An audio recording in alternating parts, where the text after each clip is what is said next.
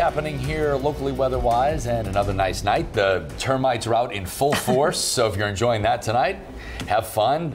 Man, bad. It's a real bad night for them, huh? I, Have you seen some I, of the pictures? Oh, yes. I'm going to show a couple of those pictures. Were they by your house? Uh, on the way back, they were slamming into my windshield. I couldn't Ugh. see. It was Oh, a safety man, issue. I hate those things. All right, so let me show you what's happening. I don't think the cold front's going to help with these termites. You know, that's just going to take time. The ground is warmed up, and so they're leaving the ground and they're visiting all of us. Cold front looks like it's going to move through early in the morning. We do have a chance of some showers, isolated storm with it, but the truth is the bulk of the activity is well to the northeast.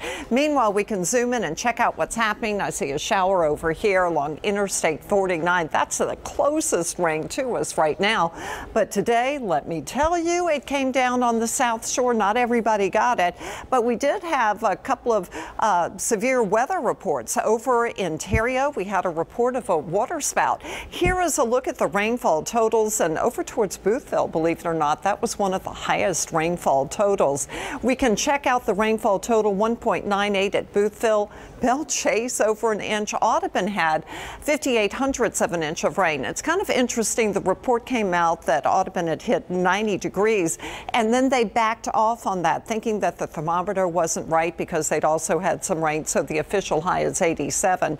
And then you can see downtown had about 13 hundredths of an inch of rain.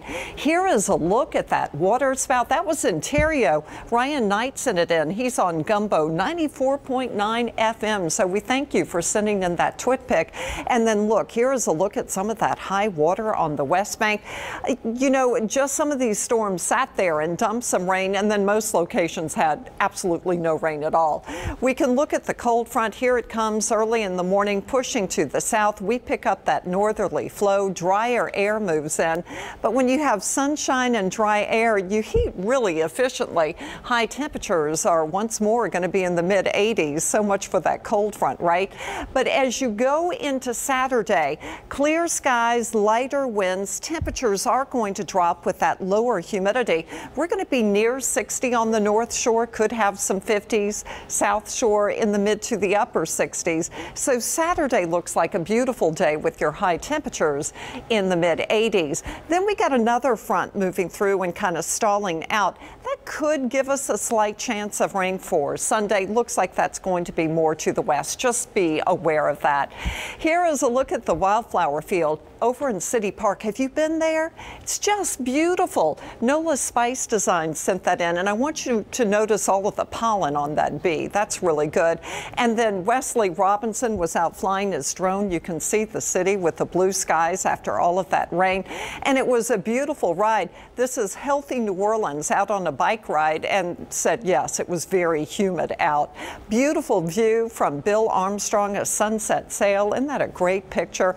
And then here they are, Scott, Adriana, Look at all of the termites. This is in Belle Chasse. Dale, Riley sent in that twit pic. And then another one from Wayne. This is in Gentilly. Doesn't look that bad, but he said it was really bad, had trouble getting to the house. So 88 was the high at the airport. The average is 85. The record 91 degrees, but I want you to notice you can get colder air in here. 47 was the record low temperature. We can look at these highs. Bogalusa was 91, Hammond 90, Baton Rouge 91, 87 the official high over at Audubon, 85 at Gulfport. Temperatures right now haven't cooled off much at all. We've got that southerly flow sending in the warm, moist air, but this is cool. Shows the winds shifting. So by 6 o'clock, we're really beginning to pick up that northwest flow. Could have a little bit of patchy fog. Then the sun comes out and it looks pretty nice. Low temperatures upper 60s to the low 70s. High temperatures tomorrow are going to be climbing into the mid 80s. So let's check out that forecast. And here we are, 3 in the afternoon, about 85, partly cloudy in the morning, then skies become mostly sunny. Look at these lows for Saturday morning. That'll be nice. Also for Sunday, I should put more clouds in there for Sunday. Monday, slight rain chance, and then your rain chances really go up for Wednesday and Thursday. Plenty of warm, moist air moving in ahead of another cold front that's going to move our way.